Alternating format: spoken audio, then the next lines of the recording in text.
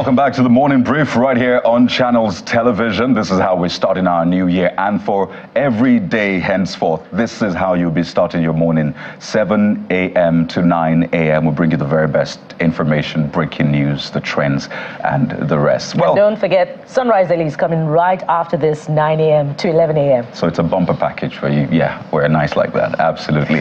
We're switching gears now. We're talking about a, a sector that has done so much uh, for not just the Nigerian economy, but the image of our nation, blazing the trail. Yes, government or no government, as they have said. And we have joining us right here in our studio a face you're probably used to in a different kind of environment. We have brought him to our studio. We have joining us Femi Adebayo, he is an actor and director. Let me just add a lawyer as well. Thank you very much. Happy New Year. Happy New Year. Happy New it's Year good to, see you. Yeah. I know a lot of people have seen you on screens, they probably haven't gotten enough of you, but uh, thinking of you as a lawyer, I just wanted to get that part out of my head. they, when the judges see you, I don't know when last you were in court, but did they go, well, are you serious? Are you practicing? well, I, I, I, was called to the Nigerian Bar 2003. Yeah. So I practiced for two years before opting out of litigation. You know, so of course, then when I started before the um, court of law, well, I feel so good. I mean, announcing my appearance, may please your lordship. you know, and some judges were like, ah, "Is this the same man I'm seeing?" Same actor? And yes, and some judges will even go ahead and ask, "You can't, you know, practice and at the same time be in the entertainment industry." Mm. You know, I used to tell them then, well, I wasn't into full-time entertainment. Then. Right. So when I wanted to go into full-time entertainment, I opted out of litigation. You had to pull out in 2005. Oh. Why did you opt out of litigation and choose the movie industry? By the way, the passion is more in entertainment than the law. Okay. You know, I, in fact, I'd wanted to study law from the beginning of my life, but you know, I, I felt acting was going to be just an hobby. That you know, okay, it's my hobby and all that, but it's pulling me more than law is pulling me.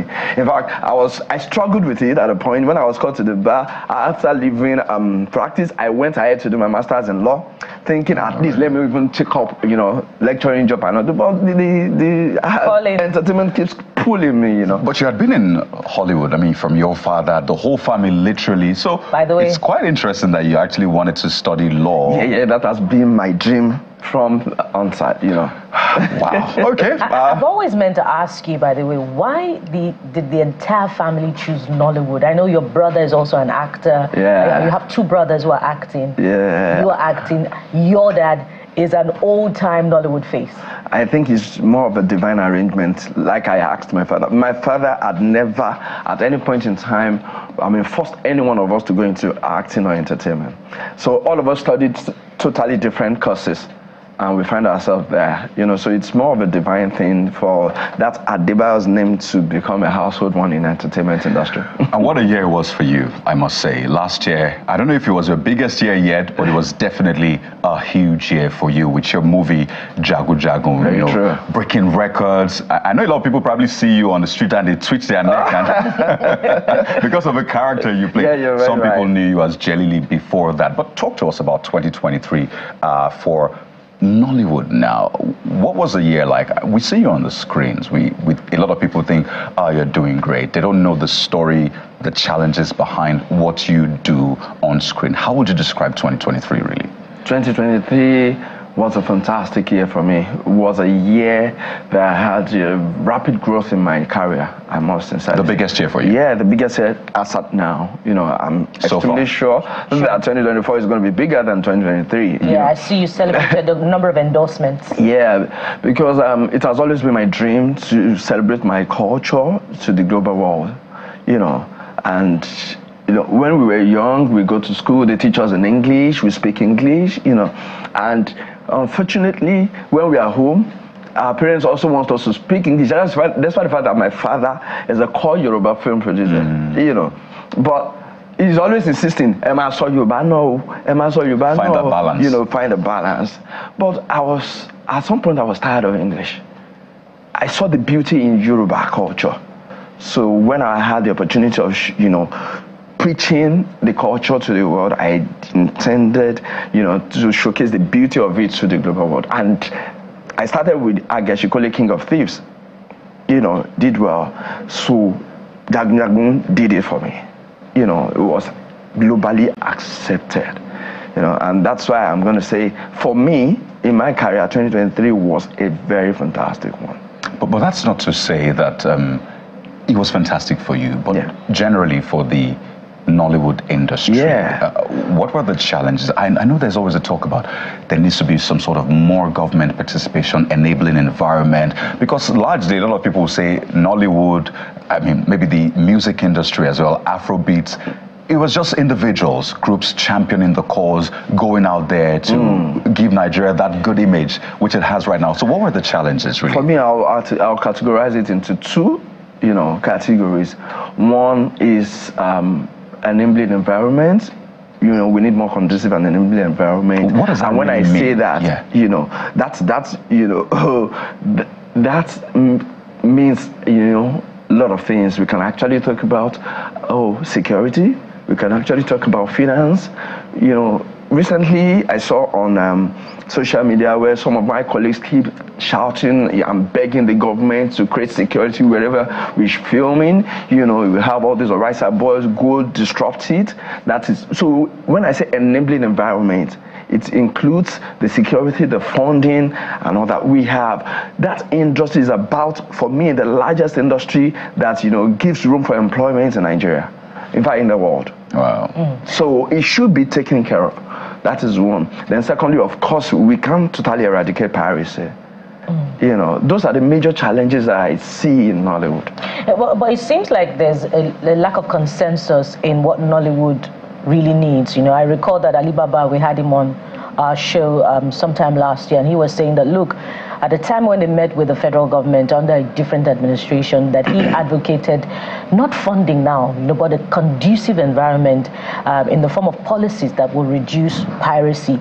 So some members of Nollywood, I, I know that Jide Kosoko canvassed for the new administration to provide, you know, access to loans interest, not necessarily interest-free loans now, but single-digit loans for um, Nollywood uh, content creators. So, what does Nollywood really need when there is a lack of consensus among practitioners about what the industry needs? So we we hold different views and opinions. You know, uh, for Alibaba, all it thinks is security. You know, but for me, those are my two major areas. You know, and living the environment, like I've explained, and the you, you know the piracy. So for me. I must acknowledge the fact that we've had grants over the years for some from some administration, even this present administration. You know, we've had grants. You know, um, during Jonathan's administration, there was loan and grants as well. But we are saying we need more. You know, and particularly, um, I'm canvassing for what I call um, community cinemas. You know, so there are a lot. Pardon me, I just wanted to ask can Nigerians invest in Nollywood? Can individuals say, you know, I want to invest in a movie, how viable it is? Because I was I'm thinking about it. There, there are lots of private people that might say, well, I have some loose cash, I want to invest. Yeah. I mean, yes, they invest in the stock exchange. Is there a way, is that something that is happening right now? If it isn't, is that something you're thinking of when Nigerians can say, you know, I have this 10 million naira, let me invest and I'll get my returns? Yes, in the last 10 years, I'm going to say no. But today, I'm going to say yes without blinking. I'm So gonna- Nigerians can actually invest. they in, in are what way? even doing that How? presently, you know, because, well, let's let's give thanks to, um, you know, international streamers that we have. You know, we we we now, you know, being accepted all over the world, and so that gives that, you know, confidence to investors that okay, if I invest an amount of money, I'm going to get back my money.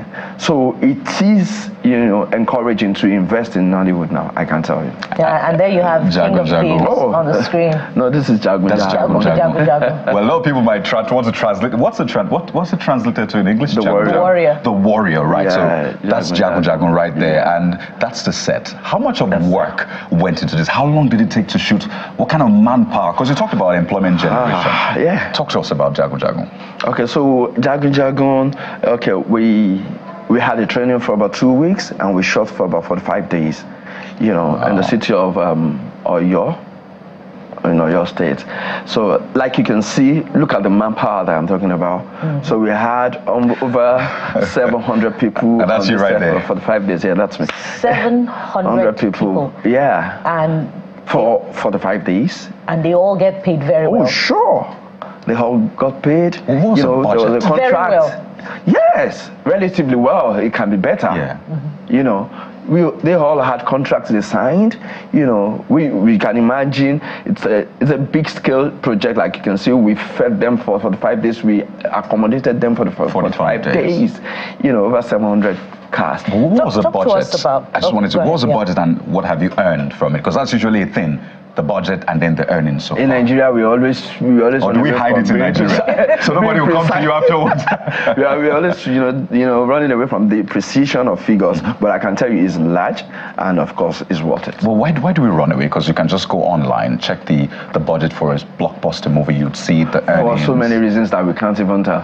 It has been a trend just don't mention figures. Oh. Just but, but some of your colleagues, you know, celebrate their success. I know Funke Akindele, you know, tweets about what her movie has grossed, you know, in terms of earnings so far. Okay, so for box office, even you don't have a choice, it has to be disclosed. Like King of Thieves went to the box office and did like a 322 million naira. You know, that was in Aiden so I think it's one of the rules of the you know Sean Association to disclose whatever you know films make at the box office. Unlike streaming. Unlike streaming, yes. So so talk to us now about um, you know what is on ground in terms of contract agreements. You know for the protection of um, the rights of your artists who work with you on set. I know that when you are done with the production, they've been paid and they've gone. But when you make 300 million naira, 322 million naira that you quoted now, is there anything that ensures that they get uh, proceeds, you know, from that earning as well, or it goes to the executive producer? It's actually more of um, personal agreements, you know. On a normal day, the practice is okay. You get paid for the job and you leave because so many times you cannot even, you know, predict how how well the movie is going to do. You know, so most actors prefer that okay, just get I mean, let me get paid and leave. Mm. You know, why now some can envisage and say, okay, I'm going to take this amount of money and so, so I mean percentage on the project. So it's more of a personal arrangement, and and you, and you pray that the movie will do well. So at least you'll be earning something afterwards. Do you understand? I, I want to know what you're planning for 2024 naturally, and I imagine a lot of people want to know. Maybe they want to see you do the impression of Jagun Jagun as well. I'm sure you've had to do like that. so many people have asked me and continue to ask they keep me, asking you is about there that. Jagun Jagun 2? Is there Jagun Jagun 2? Is there going to be? Jagun Jagun too? Well, there is going to be a Jagun There is going to be this year, That I'm not sure, but there is going to be a Jagun Jagun 2. and has filming begun just yet? Is- Not yet. Not yet. not yet. Will they I, I want to use that platform to give so many up and coming opportunities to you know partake in that.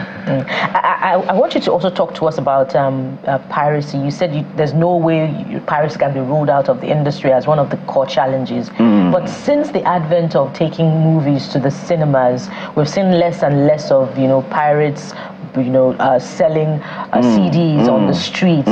So how significantly has that um, aspect of filming reduced piracy for? My sister, see, this is even you know out of the out of um, extinction. It's it's not there again. Who uses CD, so they probably are not How doing do they that. do it now? You know, you can do that, that's I don't know. I'm sorry.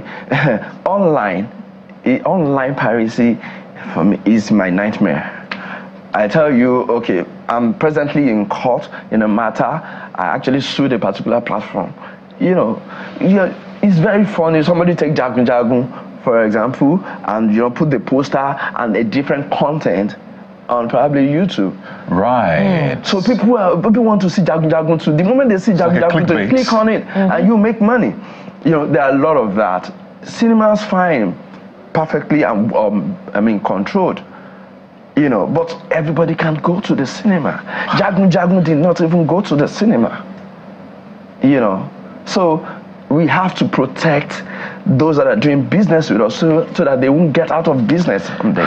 You know, speaking So, of and I the- believe that policies can help us. can help that definitely I know there's still that debate streaming or go to the cinema, which is better which is the future which even pays you the more, More. but there's this uh, conversation we need to have and that's what happens to actors even maybe during their career or when they have retired. And we've seen series of actors uh, come on asking for help. Mm. Some of them, mm. I mean, just recently there were reports about um, Zack Orji, yeah. and mm-hmm. uh, we had previous reports about Mr. Ibu mm-hmm. and, and the rest. So these are scenarios people see and yeah. wonder what exactly is going on with Nollywood. We see you as people that are doing great. You successful. act successful. You, you, you act as rich men in movies. Some of you live, I mean, good lifestyle. So what exactly is wrong?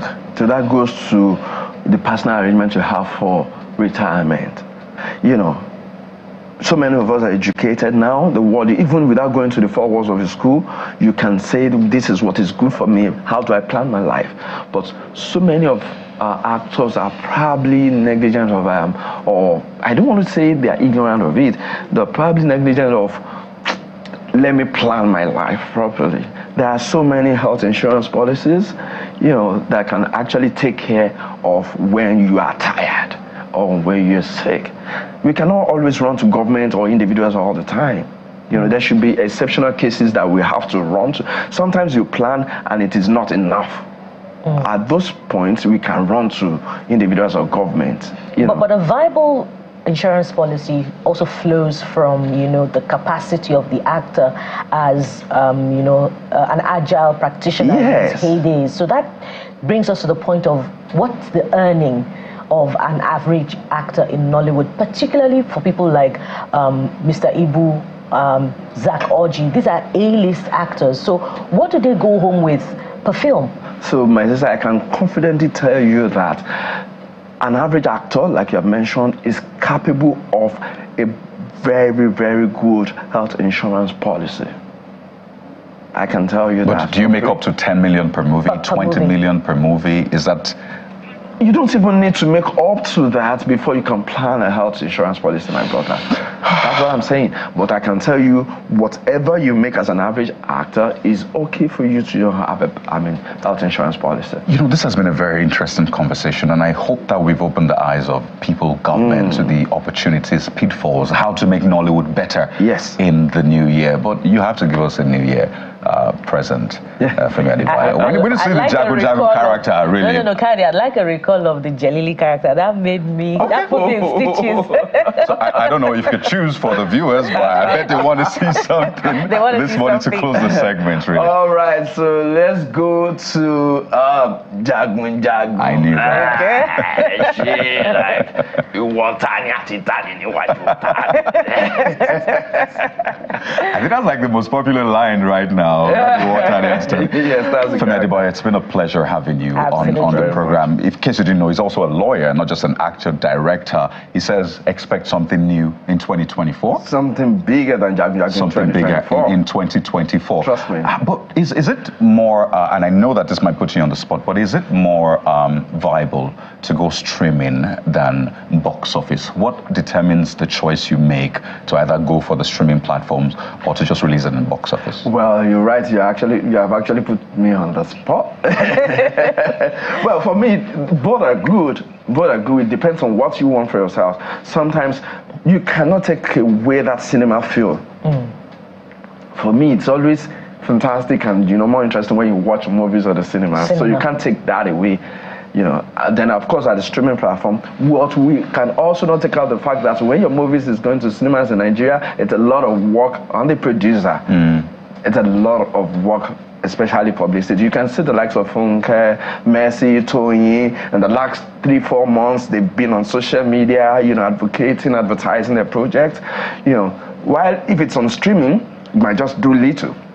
Because they take know. it over and do all of the advert and the publicity. Not all that majority you know, but, of it. You know, you mm. you you share that um, particular. Um, so there's less work that goes into streaming as against uh, mm. taking the work but for the me, cinema. you know, for me, I prefer the two.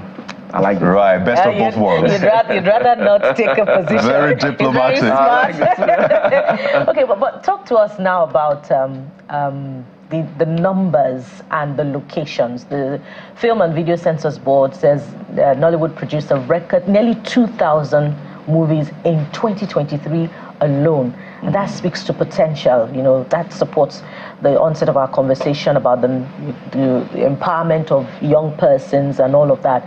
Um, but why does Nollywood still prefer to take um, a lot of our movies outside Nigeria to shoot rather than shooting in Nigeria?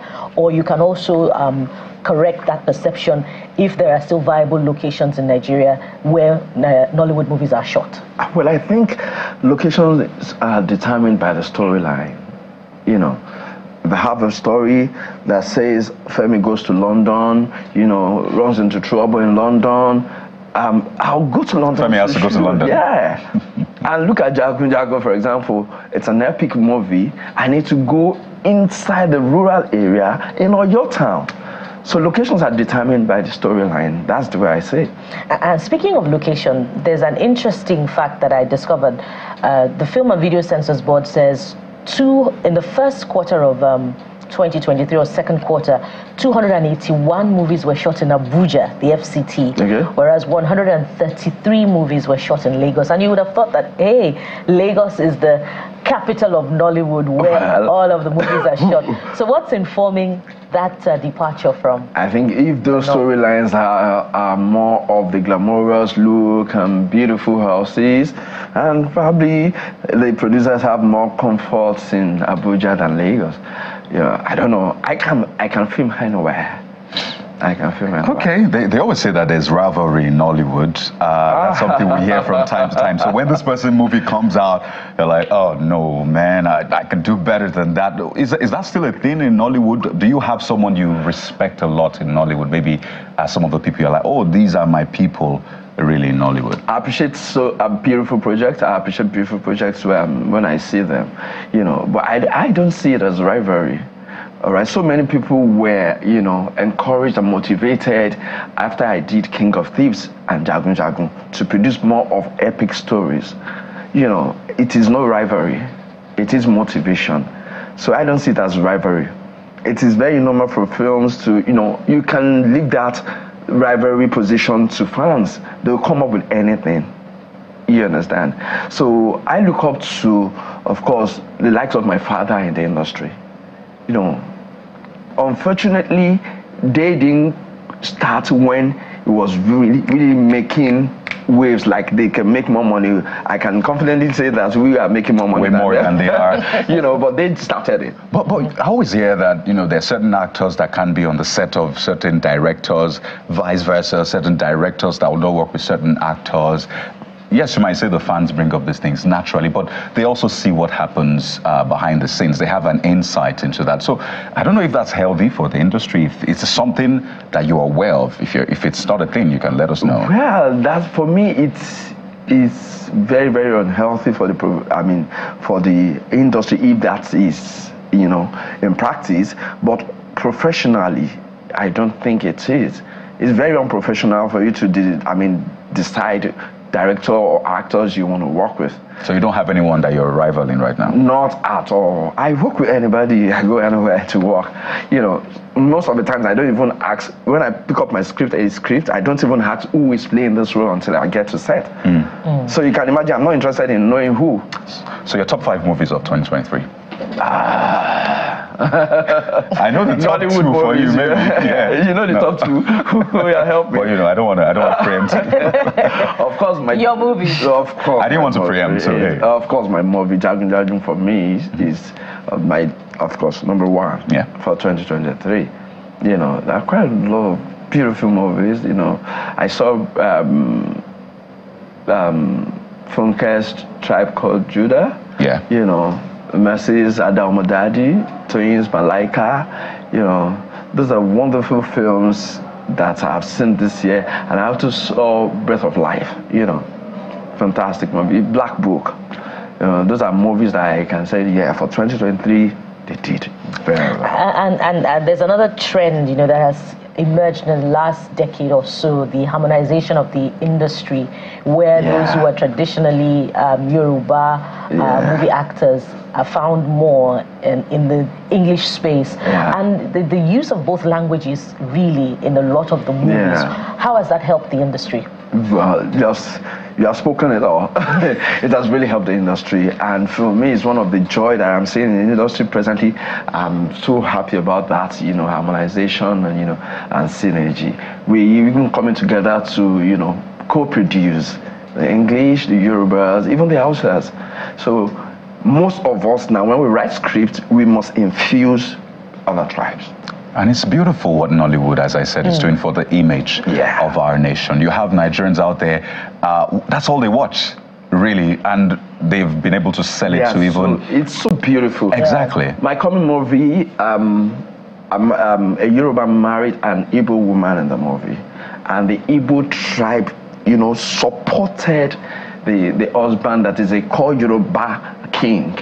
They supported with their traditions and everything. It was beautiful. Is that coming out this year? Yeah, that's that's one of the films you should look out for this year. Do you want to tell us the title? Cross-cultural. Yes, I can tell you the title for free. It's Seven Doors. Seven, Seven Doors. Yeah, watch out for it. Seven Doors. It's gonna be big. There you go. So you heard it here. Seven Doors Yeah. this year. When For the first time on is the morning. Is this the first? Is this the first time you're talking This is about the it? first time I'm saying it anywhere. So there you go, exclusive right here on Channels Television's Morning Brief. Seven Doors. When is it coming out? Uh, mid-year. Mid-year, yeah. Mid-year. Mid-year. We'll of course be looking forward to that, and of course uh, Yeah. premiering. Have you started shooting yet? Done with filming, I'm at post. Fantastic. Yeah. Do we have time for more um, on on? Yes, it's, it's I'm New Year's Day. saying this It's for- New Year's It's New Year's Day. I'm gonna be saying this for free. Okay, so we're gonna be filming Jagun Jagun 2 this year as well. Right. You know, so I'll, I'll give them an opportunity, like I said, I'll give opportunities to, you know, up and coming actors to, to partake in Jagun Jagun 2. What about the? Um, I know there's been that issue. Uh, influencers, online actors, skit makers.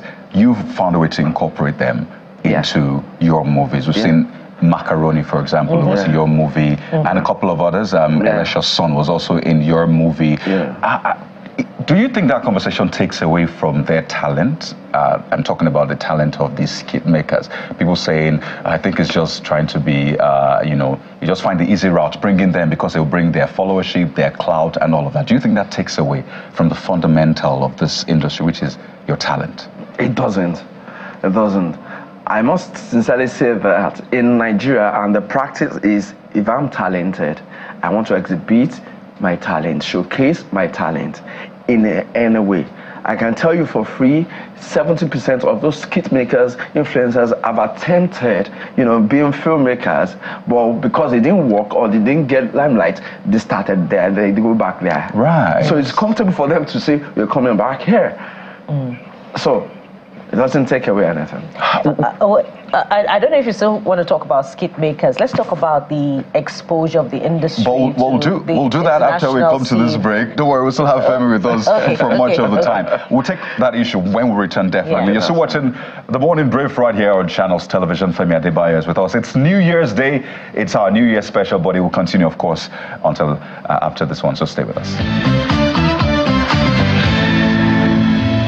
So, welcome back to the morning brief on Channels Television. We're reaching you live. We've been having a very wonderful time out with our guest Femi Adebayo, who has told us uh, a number of things that he's up to for 2024, and of course, um, you know, his um, um, understanding about the issues affecting the industry as well. We still got him in the house, but right now we're going to be taking uh, some of your tweets, your reactions to a number of events that have taken place today. So we're starting with a field marshal of the Han dynasty at General Oluchi, and he says, No grief for anybody in this 2024. Stand your ground. Well, Is that the image of the vice president you used there?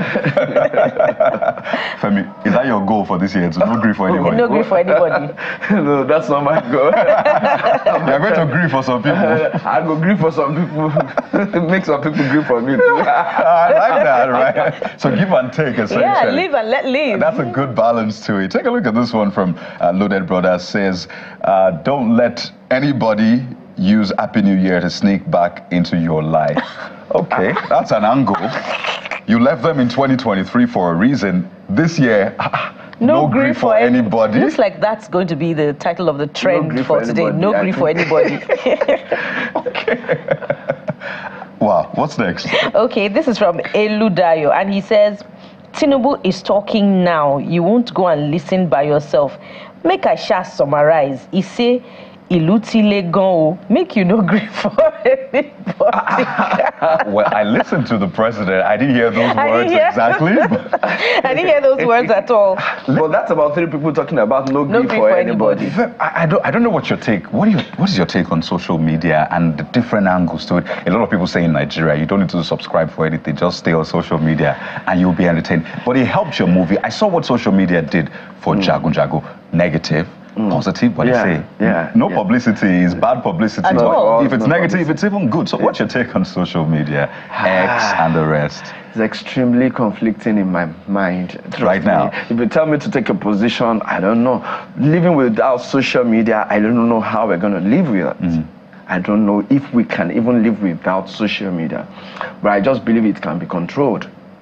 I believe it should be controlled. But social media also provides inspiration for Nollywood sometimes. You know, for instance, Absolutely. the president's um, famous Emi Lokan speech, you know, provided inspiration for movie makers who produced something in that fashion. Even for skit makers who, you know, who went to town and produced. You are correct, my sister. Tracks But on uh, Emilio did you look at social media from the angle of so many depression? I mean, depressive contents. You know, some people go on social media, showcase their, you know, affluence, and get some people so depressed, wanting to kill that. That that, that is Bayo. We went to the same secondary school. Bayo drives a Lexus now. I can't even afford a bicycle. You know, there are so many things. That's why I said it should be controlled. Social media gives opportunity for. I'm a Yoruba man. I believe so much in respect.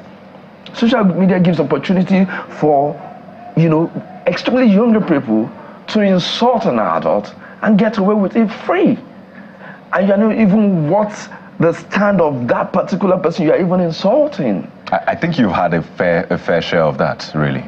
Not directly, not directly, unfortunately, not directly. But I see, I can see, and social media also helps my, you know, my career. publicity and the rest. Publicity. But you know, during the elections, the build-up, there was a lot of attack back and forth, and I think Nollywood actors got a fair share of it, particularly Yeah. those who declared support for a candidate. Serious and lash. You came under a lot of uh, support. Uh, I say support? Attacked as well. Am I correct? Not, not really, not really. You know, because probably I, I didn't come out to say I'm campaigning for a particular candidate Openly. You know, openly. Um, so many of my colleagues that actually came out like, we supported this, they got it. It's been quite a wonderful time with you, uh, Femi. We had to hold you for longer because Yeah, a lot of that's people, of course, wanted to see more That's people. We'd like to thank you so much. We've been chatting uh, with Femi Adebayo, actor, director, lawyer, Jelili Jagun Jagun. now Seven Doors coming this Yeah. year. I Thank still you so want much. to see Jelili. Okay. so maybe I'm just. stand Jelili in the studio. Jelili will fart. oh. Okay. we have a screen here. We have to anchor now. But thank you so much, Femi Adebayo. Wish Thank you the very best having this me. new year. Thank you so much.